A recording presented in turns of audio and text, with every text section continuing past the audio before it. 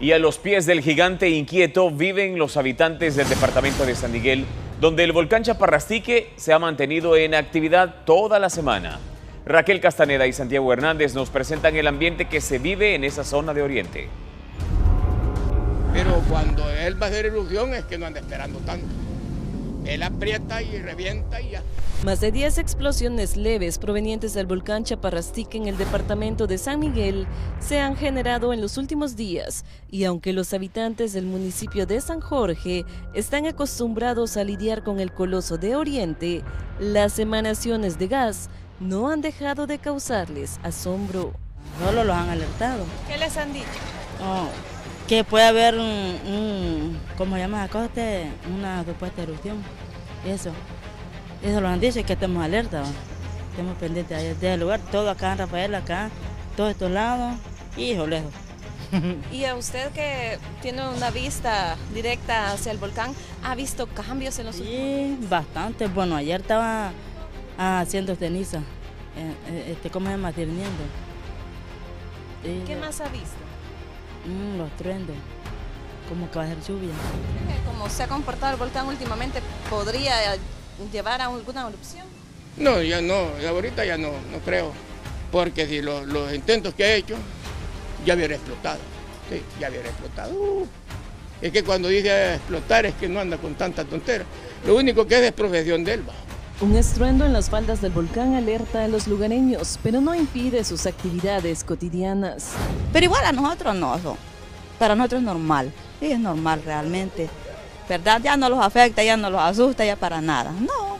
Se acuestan tranquilos y se levantan tranquilos. Igual, pues sí, eso es. Dios los guarda, Dios los protege, porque no hay de otra, eso es. Sí, ¿qué vamos a hacer para.? O sea, no podemos huir porque es lo mismo. Si la muerte donde quiera los va a llegar. Con el volcán Chaparrastique de fondo y una columna de gas cubriendo el sol, encontramos a un grupo de personas que se dedican a la cosecha de frijol. Pero ustedes están tomando precaución. Depende, como a veces, si yo creo que como la tira para otro lado, para acá no la tira. Vea, Ya supongamos, ya nosotros, si al ver que los ven encima, sí los vamos, porque los deja en lo oscuro.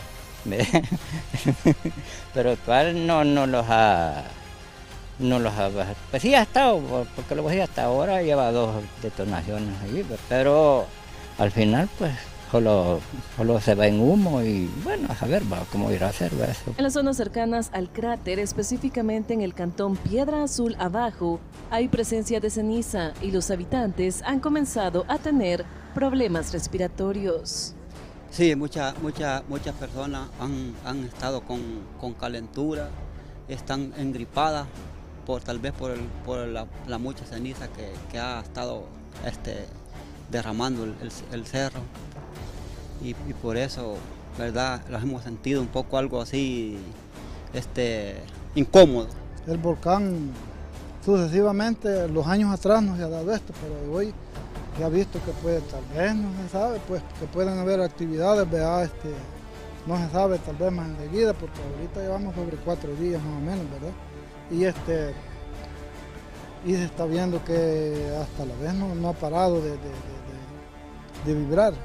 Tiene una vibración, pues a través de todo eso la gente se alerta, ¿verdad?